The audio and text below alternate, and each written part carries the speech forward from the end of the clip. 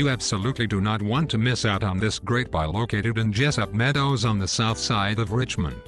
This two-story home features three bedrooms, two and a half bathrooms, a great room with a gas fireplace, a formal dining room, kitchen with a separate breakfast nook. This spacious home also has a garage, a deck of the kitchen and a rear storage shed.